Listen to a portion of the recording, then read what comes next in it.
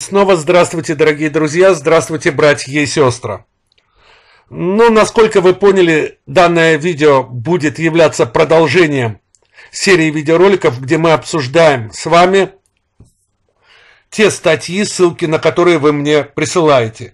Но прежде чем мы приступим непосредственно к главной теме, я хочу извиниться за то, что энное время никак не мог, скажем так, выкроить время для новых своих видео для загрузки их на свой канал.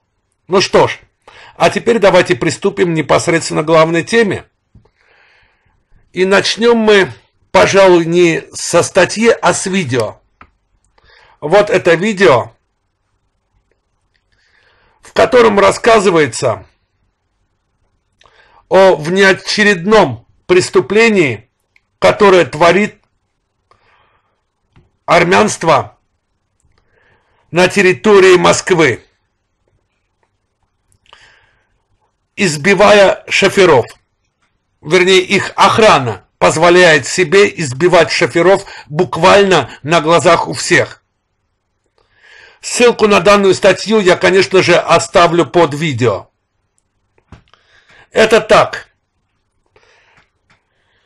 Скажем так, информация к размышлению. Но давайте пойдемте дальше. Дальнейшее видео, наверное, вас удивит, так как я показываю, как вы видите свой недавний прямой эфир. Сейчас вы спросите, в чем же дело? Ну так, я должен для этого ознакомить вас с одним комментарием. Здравствуйте, Камран Мялим. Это пишет Мария Мария. Эти опыты проводятся надо мной. Я по отцу азербайджанка и никак не могу вырваться из этого ада. Это просто обыкновенный фашизм. Тогда я задал ей вопрос. То есть вы наполовину азербайджанка, наполовину армянка? Уточняющий вопрос. Она написала «да». Правда, Натаван Джафарова подумала, что этот вопрос э, адресуется ей. Нет, этот вопрос адресовался для уточнения женщине с ником Мария Мария. И она ответила на данный вопрос. Что же мне хочется сказать данной женщине, Марии Марии, под ником Мария Мария? Прежде всего, к сожалению, армянство сделало все, чтобы мы не доверяли таким людям, как вы. К сожалению. Потому что такие, как такие личности, как Мага, который был наполовину грузин, наполовину русский, наполовину бог знает кто, и с армянской кровью, приезжая в Баку, он попытался сделать все, чтобы испоганить мнение о нашем городе. Я уж не говорю о многочисленных, тоже, кстати, метисах, наполовину азербайджанцев, наполовину армян, которые тем не менее, по каким-то причинам выбрали ту сторону, именно армянскую. Выставляя азербайджанцев зверьми. Такие личности были, и мы их прекрасно знаем. Вот таких я называю условными азербайджанцами. Хотя и условными их не назовешь. Но мне очень хотелось бы, чтобы кто-нибудь из наших проверил данную информацию. И хотелось бы поверить, что Мария Мария действительно от души говорит данные слова. Чтобы ей помогли, может быть, выехать, я не знаю. Если, конечно, данная информация подтвердится, и если она сможет высказать все то, что над ней делали на территории Армении. Насколько я понял, она сейчас находится в Армении. Очень бы хотелось бы в это верить. Я не знаю, я не могу гарантировать, что кто-то поможет. Да и верить крайне тяжело, скажу честно. Я уже объяснил, почему крайне тяжело верить таким, как Мария Мария. Хотя понятно, что такие жертвы тоже имеют место быть. Но давайте пойдемте дальше. И сейчас уже переходим к статьям. Алиев и Пашинян должны объединиться в борьбе с коронавирусом. Сейчас обновим, потому что не открылась фотография человека, который напечатал данную статью. Это Станислав Тарасов. Кто же такой Станислав Тарасов? Станислав Тарасов является одним из представителей армянского лоббизма. Что же он здесь пишет? Как всегда, он низко кланяется армянству за их предложение, которое они сделали. Что в связи, мол, с пандемией коронавируса стоит наконец-то до конца закрепить хотя бы на время данной пандемии подписанную бумагу о прекращении огня. Ну что хочется сказать? Кстати, в дальнейшем я покажу статью, которая вышла на азербайджанском информационном портале, и там подтверждают те слова, которые я скажу сейчас. Прежде всего, а почему Станислав Тарасов не говорит о том, сколько раз Азербайджан предлагал всевозможные мирные варианты решения данного конфликта? Почему Станислав Тарасов не говорит о миллионе беженцев? из этого же самого Карабаха. Почему Станислав Тарасов не заявляет ничего о том, чьи земли находятся под оккупацией? И таких вопросов громадное количество. Кроме этого, почему, несмотря на данное предложение, тем не менее, власти Армении решили провести так называемые выборы на оккупированных территориях Азербайджана, в Карабахе. Разве это не провокация? Может быть, именно в связи с этой провокацией они и сделали заявление о том, что предлагают, скажем так, прекратить временно взаимные обстрелы. Именно в связи с выборами, может быть. Такой у меня вопрос к данному представителю армянства. Армянского лоббизма, прошу прощения пока он еще не стал представителем армянства. Дальше, пожалуй, я говорить не буду, я просто вам покажу данную статью, она достаточно обширная. Плюс в данной статье, конечно же, ничего не пишется о том, сколько биолабораторий находится на территории Армении. Тоже интересно знать почему. Почему-то данный автор ничего не говорит о том, кому выгодно вот эта мирная так называемая платформа между Россией, э, между Азербайджаном и Арменией в связи с данной пандемией. Разве Азербайджан от этого выиграет? От этого выиграет Армения. Не так ли? Потому что именно в Армении эннократно уже превышает количество заболевших, чем в Азербайджане и в Грузии вместе взятых. Кстати, а с чем связана такая громадная пандемия? Об этом тоже почему-то Станислав Тарасов умалчивает. Переходим к следующей статье, которая, в общем-то, является продолжением данной. Друзья армян, Москва признает итоги незаконных выборов в Карабахе. Интересно, с каких это пор Москва признает Карабах? вообще, как республику. Я уж не говорю про признание Москвой так называемого Арцаха.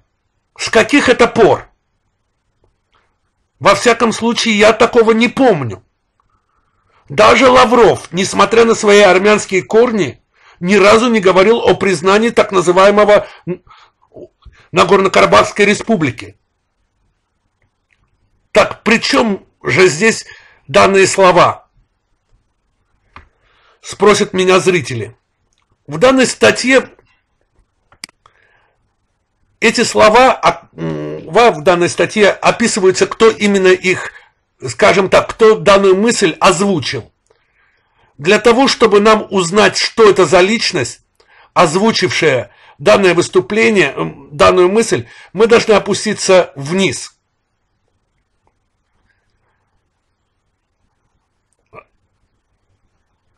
И вот,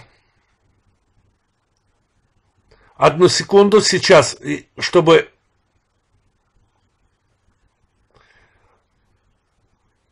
чтобы не быть голословными, вот это выражение, вот цитата. Москва склонна работать и уважать любого победителя на предстоящих выборах. Меня интересует, опять я повторюсь, данный вопрос к Станиславу Тарасову, потому что здесь цитата именно из его так называемых мыслей. С каких это пор какой-либо даже город России признал так называемую республику Карабах.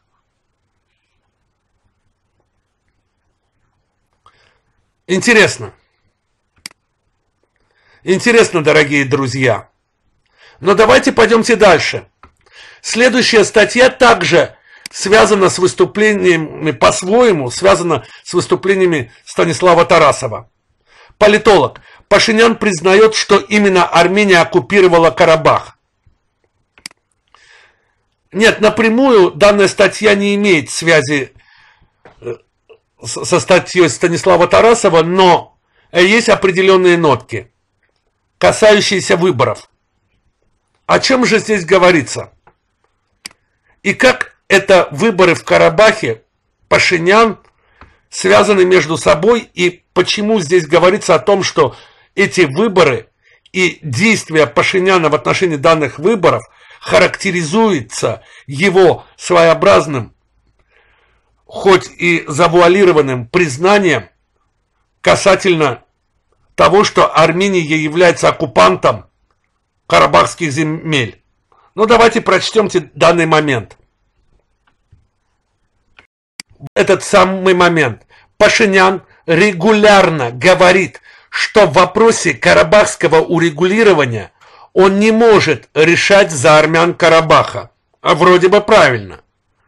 Но почему-то объявлять о выборах в Карабахе, их контролировать и посылать туда наблюдателей он может. Тем самым Пашинян снова признает, что именно Армения оккупировала Карабах. В общем-то правильно. Тем более учитывая то, что многие карабахцы имеют паспорта Республики Армения. Так как же он не может решать за них, если они, скажем так, официально не являются практически, скажем так, гражданами Карабаха, а являются гражданами Армении по паспорту? Не так ли? Нету карабахских паспортов. Есть армянские, по которым они часто и выезжают за пределы скажем так, э, наших мест, нашего региона. В данной статье также разрушается еще один миф. Когда Пашинян с пеной у рта утверждает, заявляет о том, что он, что он очень печется о карабахцах, то вот это наплевательское отношение к пандемии, которая сейчас растеклась по всей Армении, да, скорее всего, и по всему Карабаху, хотя это и скрывается, а скрывать крайне легко, учитывая, что паспорта у граждан так называемого, в кавычках, Карабаха и у так называемой Армении идентичны. Легко скрывать, не так ли? Но давайте прочтемте.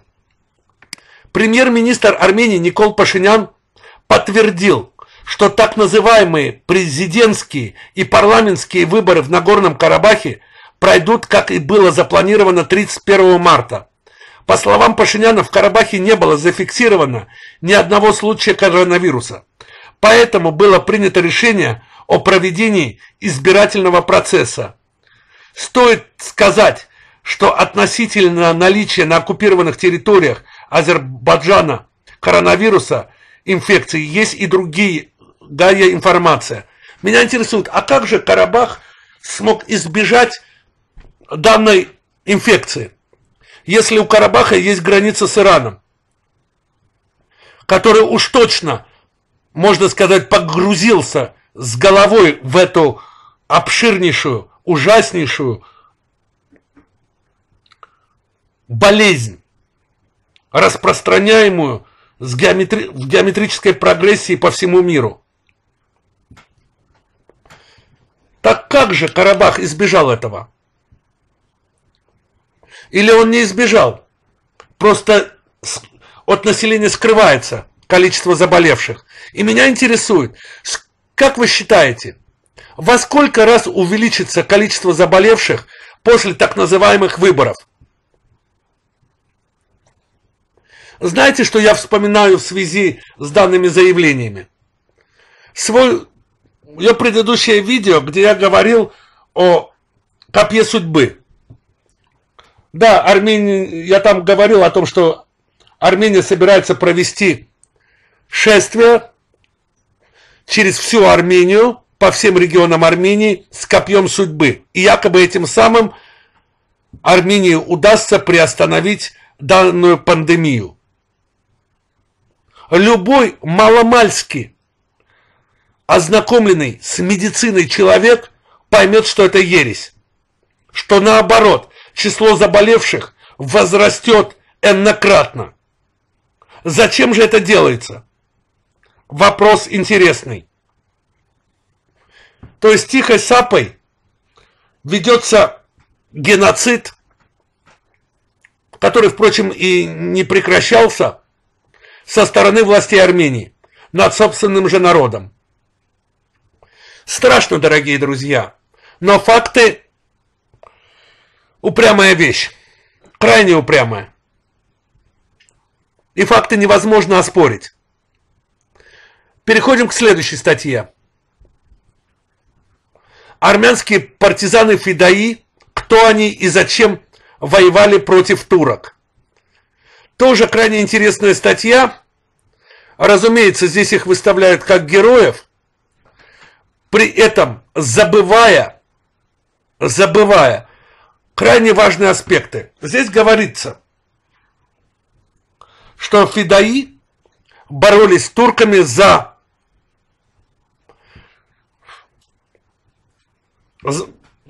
ну, грубо говоря, заступали за армянский народ на территории Османской империи. Меня интересует, а что же грозило армянам на территории Турции, Османской империи, до 1915 года? Шестеро пашей Османской империи имели отношение к армянскому народу свыше 20 министров Османской империи имели отношение к армянскому народу. Я уж не говорю про деловые круги Турции. Так что же грозило армянскому народу? На мой взгляд, фидаи были, и не только на мой взгляд, фидаи прикрывались заступничеством за армянский народ, а основной целью, и здесь, кстати, это не скрывается, было в начале создания автономии, армянской автономии на территории Османской империи, и со временем отделения данной территории от Османской империи. А вот это правда. Кроме этого, здесь ничего не говорится о том, а что же такое фидаи? И где они вначале возникли? Возникли они в Иране.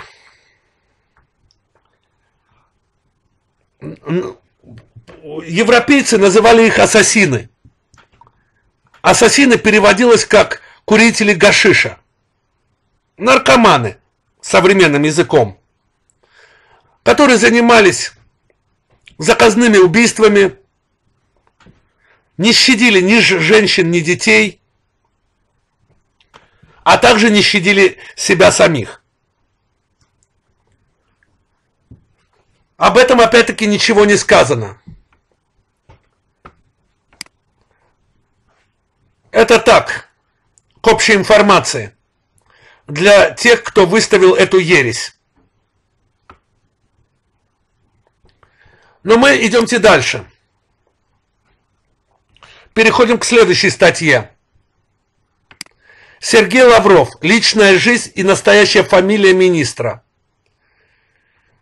Что же хочется сказать в отношении Сергея Лаврова? Да, его настоящий отец был, имел прямое отношение к армянскому народу, а мать была наполовину армянка, наполовину еврейка.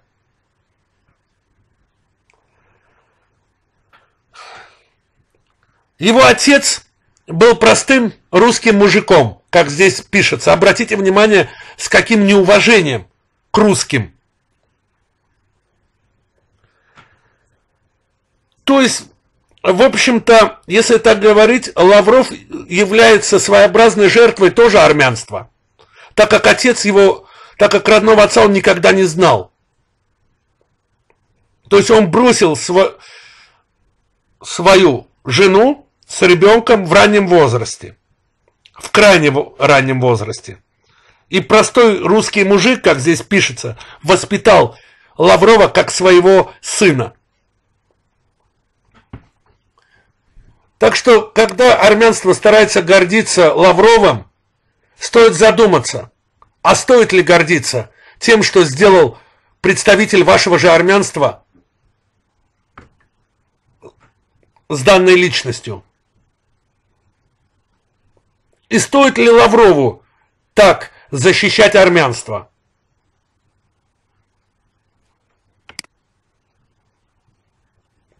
И есть еще один вопрос, который я уже задавал, и задавал не единожды, но задам еще раз.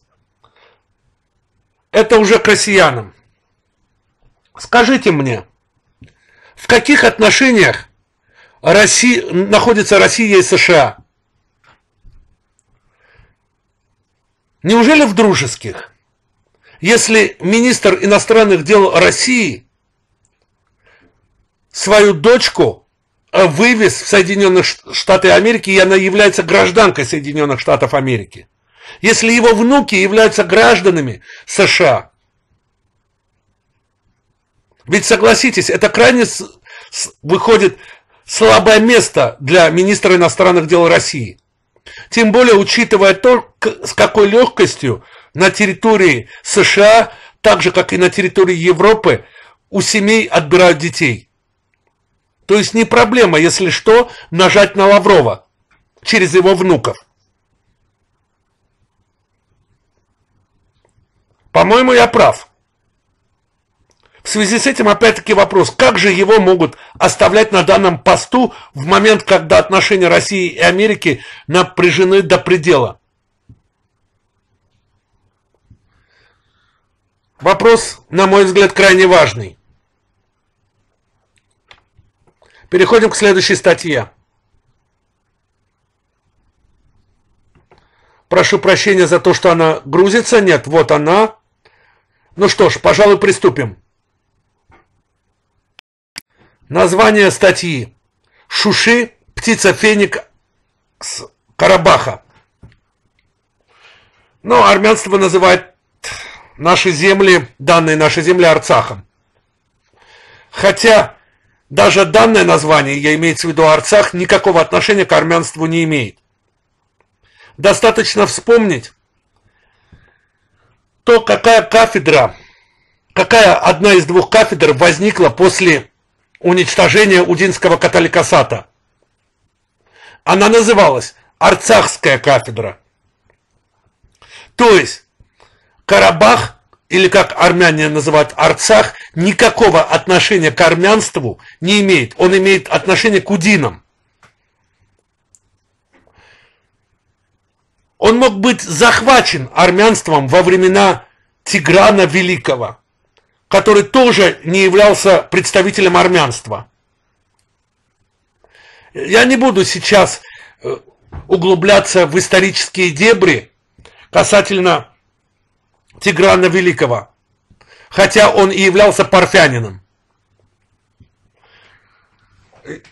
Что же касается самой Шуши, здесь я хочу обратиться ко всем своим зрителям, для того, чтобы вы поделились более обширной информацией в отношении данного города.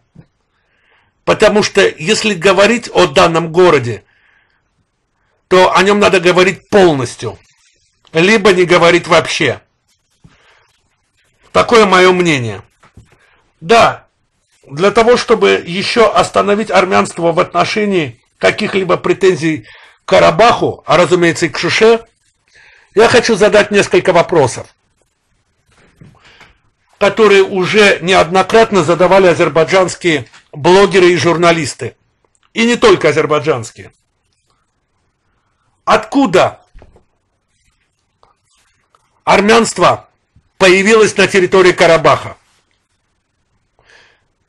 И почему они стали большинством?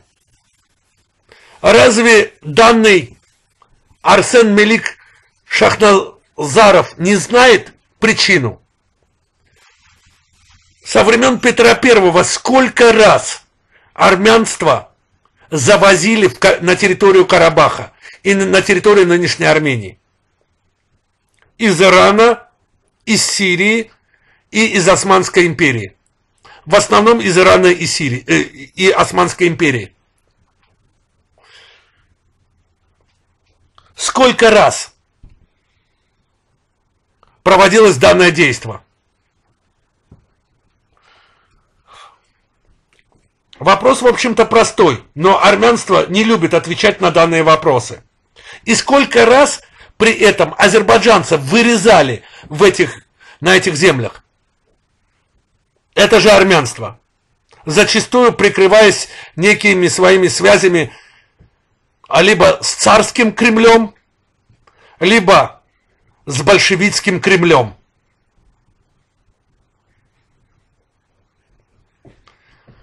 Как-то так, дорогие друзья. И еще раз я обращаюсь ко всем своим зрителям, у кого есть более обширная информация в отношении Шуши, пожалуйста, пришлите мне на почту. Ну что ж, а мы переходим к следующей статье. Так, что же это за статья? Почему армяне помогли крестоносцам? Знаете, что интересно? Армянство очень часто любит говорить о том, своем союзе с русскими, с православными, с греками, также не только с русскими, но и с греками, забывая, как они вместе с крестоносцами, в общем-то, уничтожали православный мир, содействовали этому, неоднократно предавая Византию. Неоднократно, я подчеркиваю. И этому есть многочисленные факты, о которых не стоит сейчас говорить, потому что я просто отвечаю на данную статью. Что же еще хочется сказать? Ну, прежде всего, данную статью, на мой взгляд, должны прочитать грузины, греки и русские – чтобы понять всю двуличие не армянского народа, а именно армянства.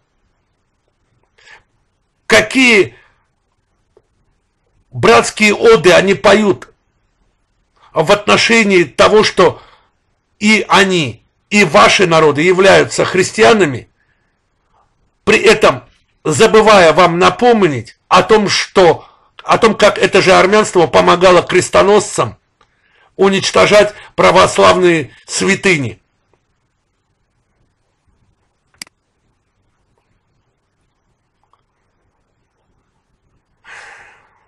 Да, дорогие друзья, здесь крайне важно также прочитать и комментарии, которые написали, оставили люди. Потому что очень интересная информация зачастую кроется именно в комментариях.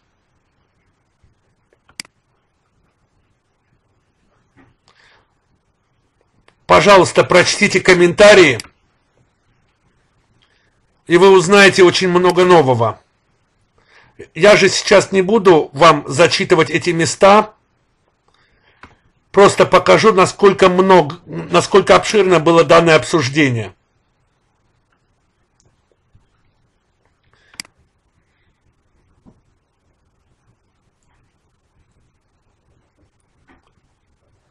Вы видите, вот какие шли споры и дебаты.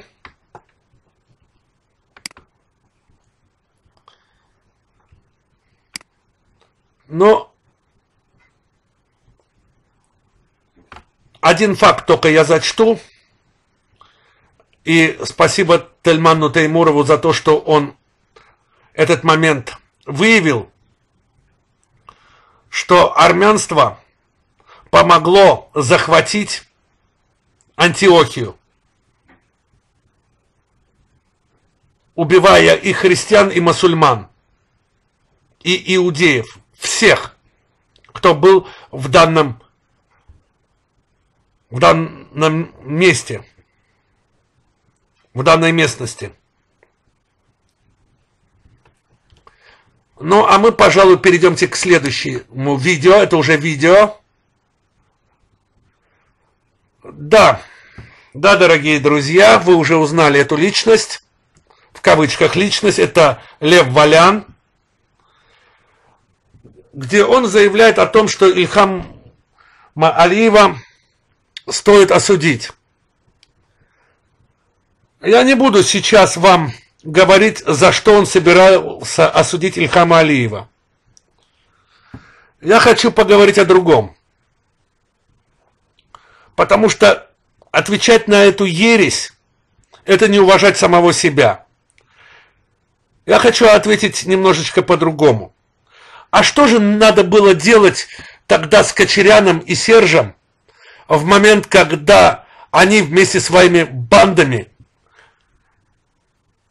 убивали представителей советской армии. Что надо было делать с представителями армянства, которые подрывали устои Советского Союза?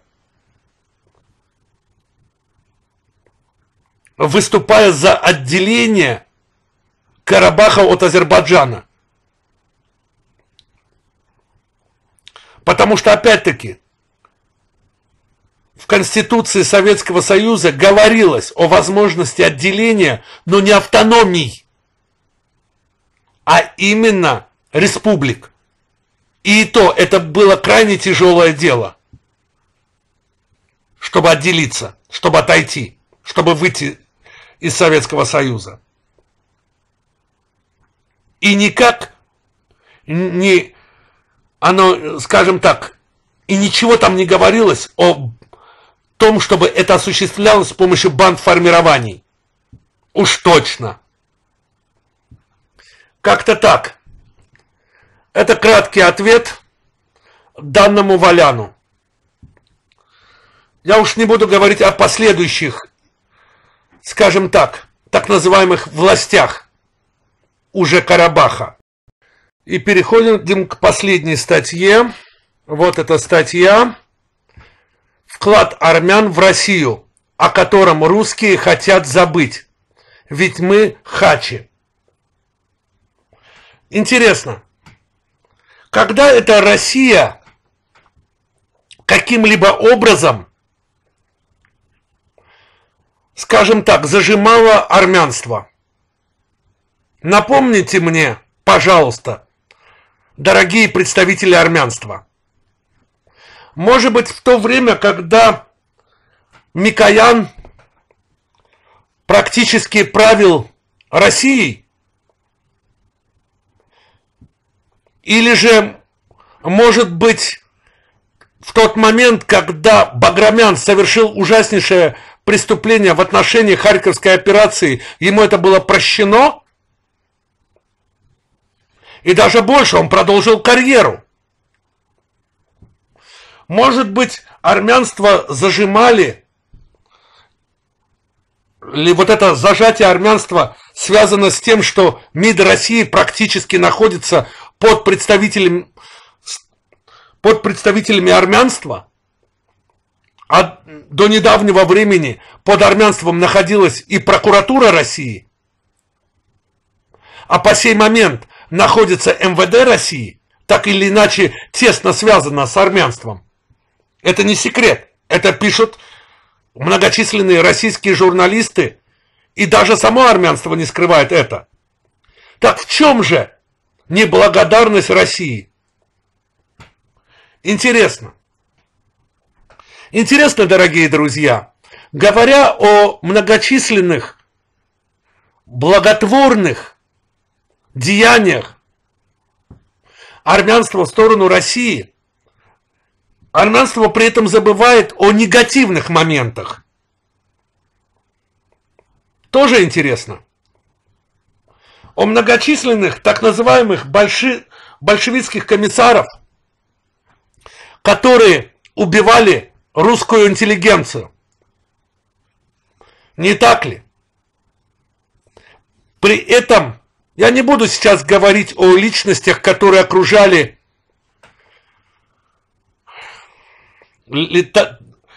скажем так, которые курировали, назовем так, сталинские расстрелы. Таких личностей можно назвать десяток. Кто окружал Берию? Кто осуществлял грязные делишки Берии? Разве не представители армянства? Вопросы интересные.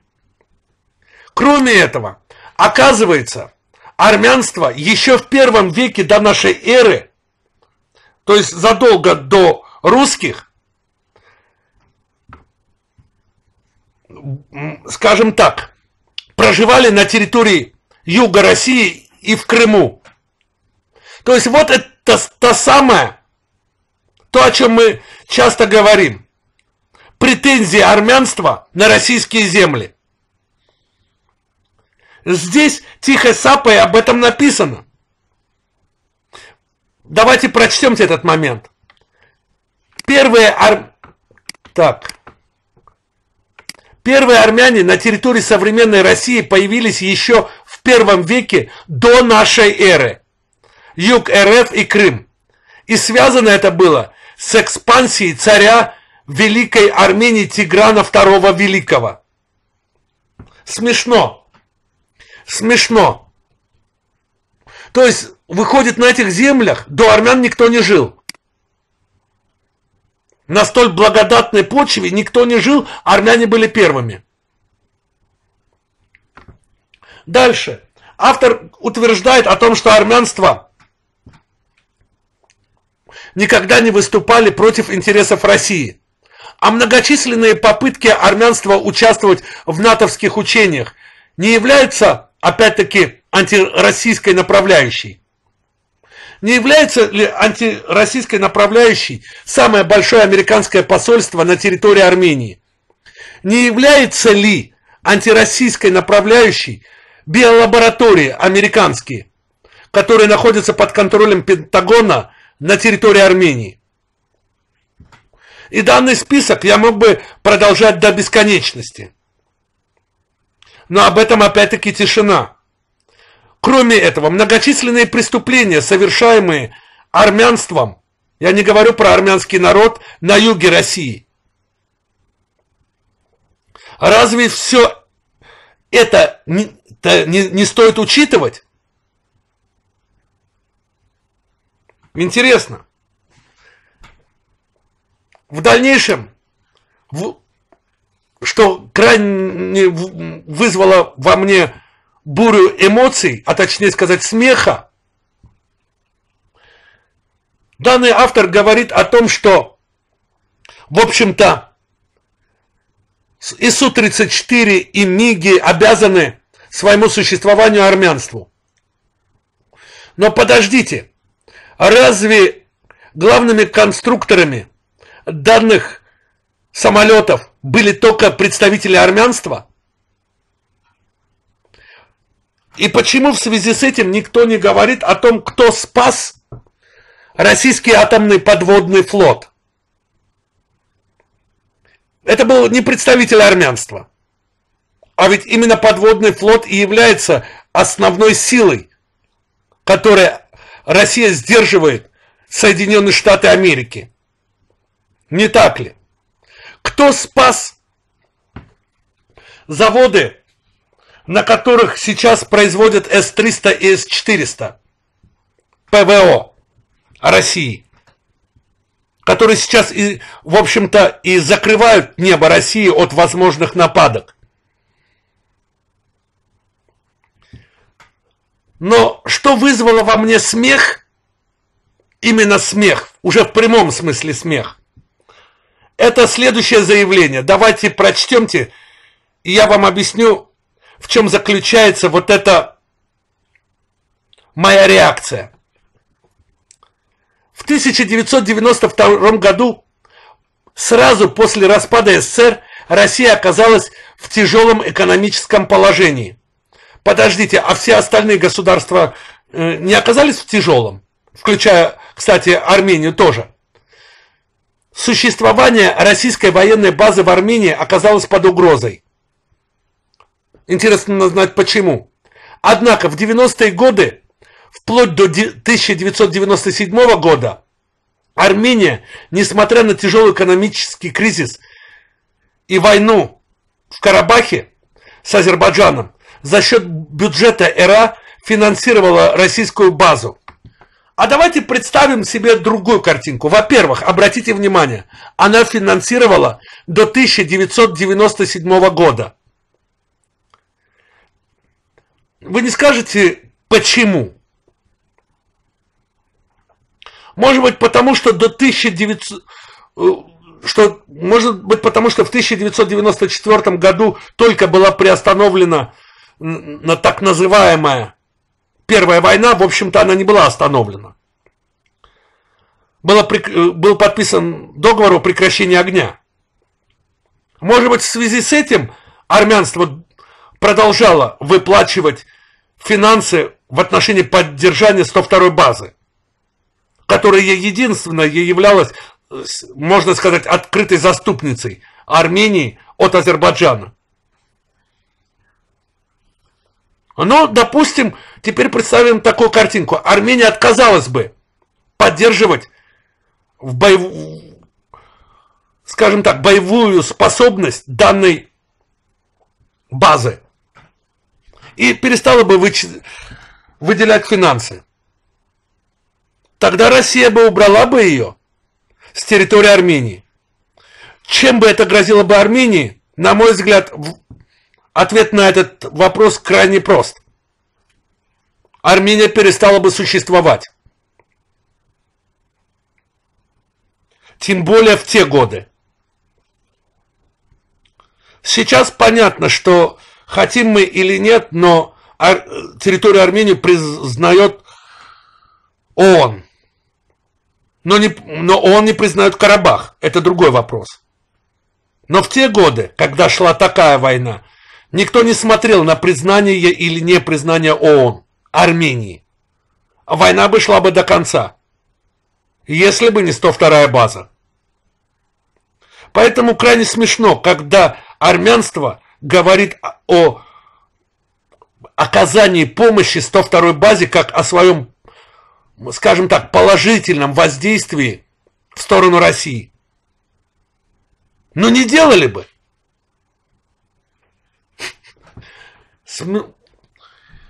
Армянство выставило себя в крайне смешной виде в данном заявлении.